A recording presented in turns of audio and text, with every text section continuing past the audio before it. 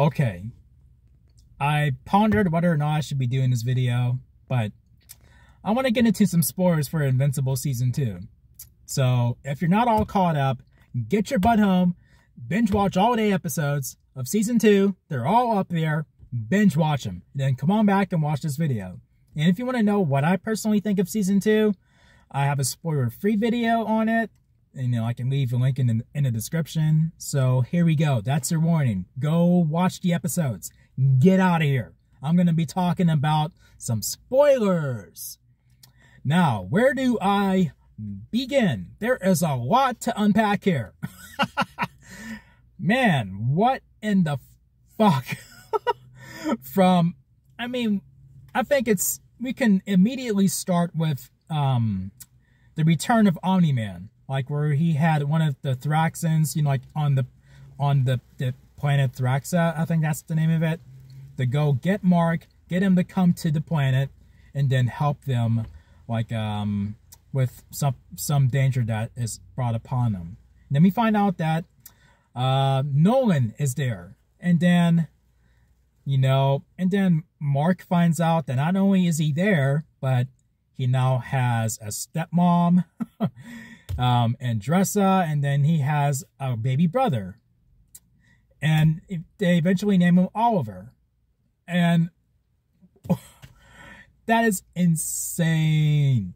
But back, okay, I have to go back to how in the first episode, like where they would um, make you think they're going to go to the title card but they keep fooling you and fooling you and fooling you and fooling you until they finally to the get to the very end. To the very end.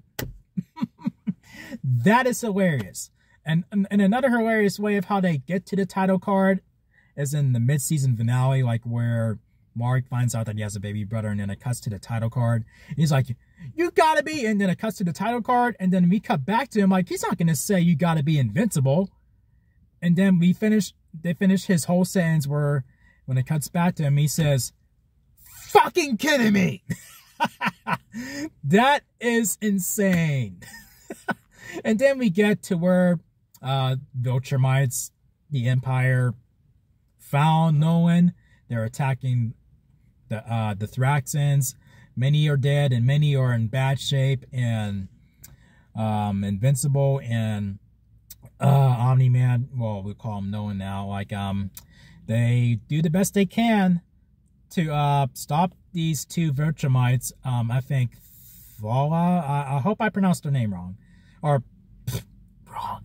I hope I pronounced her, I pronounced her name right.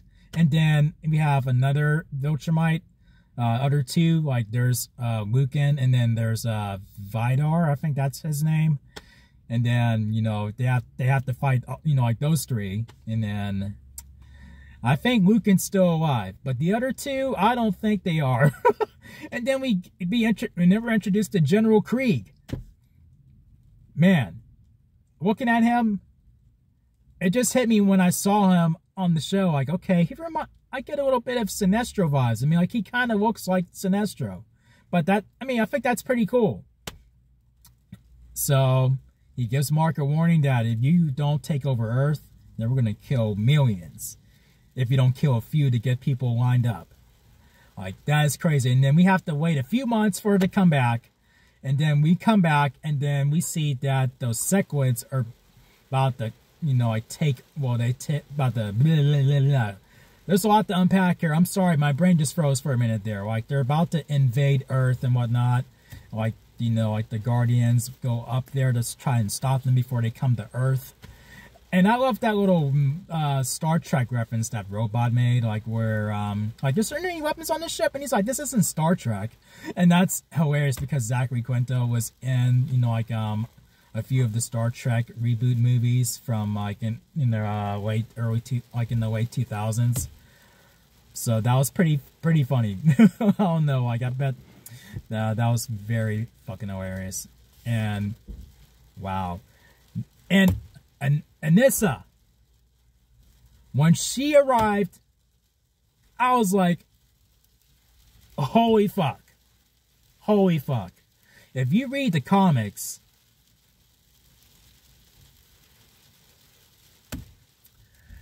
Do it at your own risk if you want to know. If you really want to know, brace yourself. Proceed with caution. that's all I'm going to say. And with that reason alone, that's why I was just like, uh, are they going to go there yet? Or, is, I mean, that happens later, right? You know, like, I'm not, oh, man. Man, oh, man, oh, man, oh, man, oh, man, oh, man. So it was fun to see her her introduction into like um in her in the episode that she appeared in. And then we get to the holy balls to the walls finale with Angstrom Levy, who was who was introduced in the season premiere. And he's like, okay, he has good intentions. He wants to do this good thing that can save the world and whatnot or whatever.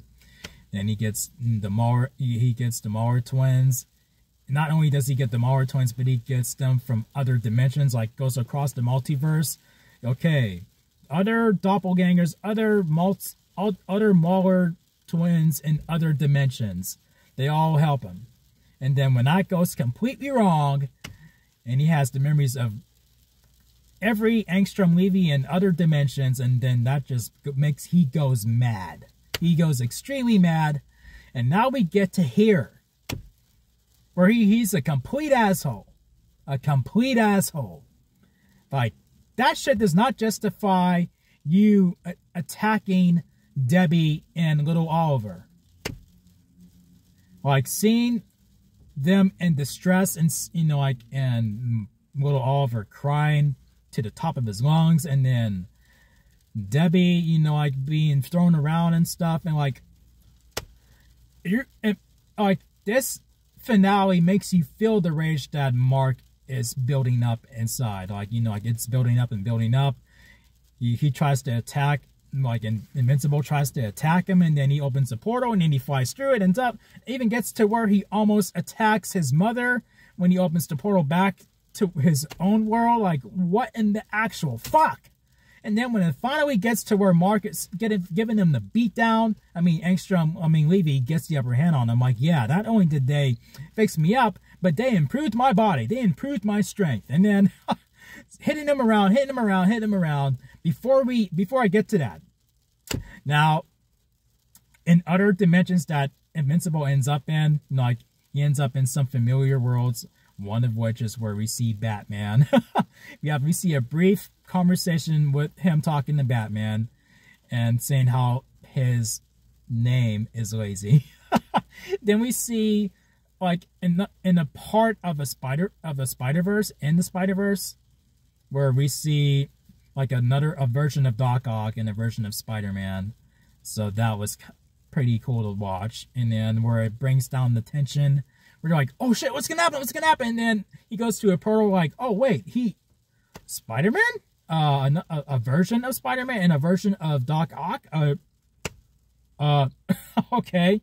We bring the tension down and then we cut back to uh, Mark's world. Then the tension comes right, right back up. And then it goes way through the roof. Man. And then when it gets to where Mark is pushed over his limit, like where he's just pushed over that edge, where he's just like, okay, fuck it. I'm going to let loose. I mean, like, I've been holding back. I'm not going to hold back. And then he gives him that beatdown that he got in the season one finale by Omni-Man. And, whoo, man. Like, Mark was pushed to take a life for the first time in his life. He took somebody's life. I mean, like, I don't, I don't feel bad for Angstrom Levy. I don't feel bad for him he put himself in that position. He kept pushing and pushing and pushing and pushing, just harassing the only good, invincible Mark Grayson in the, in the multiple dimensions where there's, I guess, so many evil ones. Where you see them doing fucked up shit. Okay, that drove you crazy, but still, I don't feel bad for you, bro. I don't feel bad for you. But I do feel bad for Mark because it gets under his skin deeply and then it goes to make you make you wonder as he's wondering am i more more viltrumite than i am human is this my nature now like i gotta work on you know like keeping this under control I got to work on that. And they leave that on basically a sad note for Mark, where he had to break up with Amber. And then this happens. His mother almost got killed. His brother almost got killed. And dang. And then we get, you know, that little moment where the future, like the Guardians of the Globe from the future, like, I guess 20 or 30 years later, they uh, help Mark get back to his world. I was afraid they were going to end it with him being trapped where he was at, where he's trapped there and he has no way to get back, and, and he's not going to get back until at some point in season three. But thankfully, that was debunked. Almost like I was afraid that it would end with Mark being in a coma in season one, where he wasn't going to wake up until like season two. Thankfully, that was debunked. and then, you know, they're clearly setting up for um him and Eve to get up, you know, like end up together. You know, like they're they hinted at that a couple times. Here, it's hard not to see. Like where the older Eve is saying, like, look, I love you. I, I, I should have told you that. I didn't get a chance to. But um, however you feel, tell, you know, like your Eve, like tell her how you feel. Whatever if it's, if you don't feel this way or if you do feel this way, just tell her how you feel. And you can see that he's becoming open to that. Like, how do I feel about her? And then we're left wondering how does he feel about her, but comic readers do know where that goes. And I'm looking forward to seeing that play out in the show. Looking forward to it. But damn. What a messed up man. What a sad ending. Like, holy crap. Even though he took out the villain, he took care of the threat, but. Damn. damn. and then we um begin to set Nolan on a redemption arc, like in this season. I thought they were gonna wait for a bit, but Nolan's starting to see the error of his ways, and um now he's in captivity along with Alan the alien. I mean, it was cool to see him back, and he made us think that they were gonna kill him off in episode three. Come on now. Now he's much stronger, and I'm looking forward to seeing more of him. I think there's going to be a Nolan and Alan team up or breakout thing in the season premiere. Looks like that's what's going to happen. And then oh, Nolan confesses that he misses uh, his wife, but we know he's talking about Debbie. Yeah, that will be interesting. I I didn't read every every every every every every issue of the comics, but I know a, a, lot. But there's plenty that I don't know, so it's kind of refreshing. and um, yeah. Fucking crazy. Fucking crazy. I hope I basically broke down everything that happened. Like, and then the meta thing, like with the comic, like the comic book writer or whatever of um Mark's favorite comic book. And he's like, oh, when's season two happening? Like, they're throwing shade at us for waiting. like, I mean, I get it. They did this in the comics, and sort of, it's sort of like they predicted that this would happen. Where it's like, when is it going to happen? Well, it's animation takes a long time. And they point out stuff that I didn't notice in this show. And I'm like, no, I can't unsee it. Uh, I can't unsee it. But what is uh, like what an awesome second season. I'm looking forward to season two. Uh, blah, blah, blah, season two, season three. I'm looking so forward to it, and I can't wait to see like where I think Conquest is going to be there and it's going to be the, the the Invincible War. I feel like that's going to happen, and then we get a little hint of whoo, we get a little hint of Thrag at the end of season three. That's just my prediction. I'm sure there's going to be plenty curveballs they're going they're going to throw at us when season three arrives. But until then, we get to marinate season two. Oh shit! Fuck.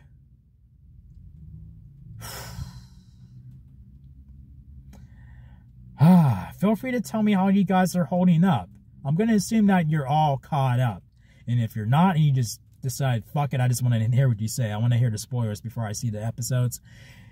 What is wrong with you? What is wrong with you? I'm going to be optimistic and, and say that, okay, you've seen the episodes and then you jump to this video. But yeah, those are my thoughts on the spoilers of season two of Invincible. now, feel free to leave your comments if you like this video, make sure you thumb it up and click subscribe and click that notification bell so you can stay up to speed on my latest videos. Thank you for watching as always, and um, hang in there. I don't think we gotta wait as long for season three, so fingers crossed. Regardless, so I don't know, guys. Yeah, um, you guys take care, and I'll see you guys. Man, my brain's scrambled. My brain is scrambled. That's a compliment, but okay, I'm gonna uh, get, get going. So you guys take care. So until then, peace out.